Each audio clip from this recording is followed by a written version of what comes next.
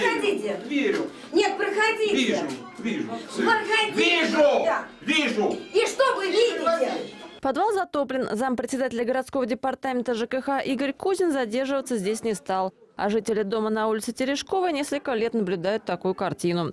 Мы создадим комиссию, приедем. Приезжает комиссия, жолу- золушков нанимают и начинают трубы гнилые, ржавые обматывать, начинают э, это самое, все там э, паутину смахнуть. Начинают? Работают? А зачем нам праздники три- э, трехдневные? Нам нужно постоянные.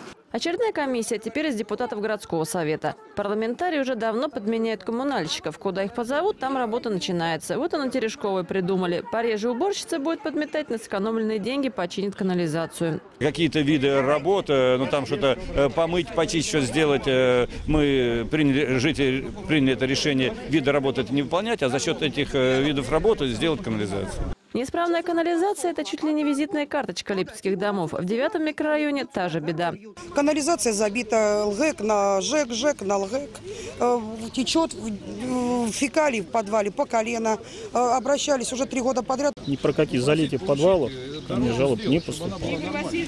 Вы не знаете, что проблема в подвале? Я знаю. Я знаю, что здесь ливневая канализация не работает, это известно. А почему вы не выполняете свою работу? Почему я не выполняю?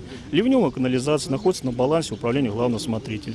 Послушав жалобы липчан и объяснения коммунальщиков, депутаты разозлились. Сколько можно переливать из пустого в порожнее? Надо дать оценку департаменту ЖКХ. Пока у депутатов есть такая возможность, вплоть до квотума недоверия, который мы можем вынести. Вы помните, мы это делали. Нет, вы планируете.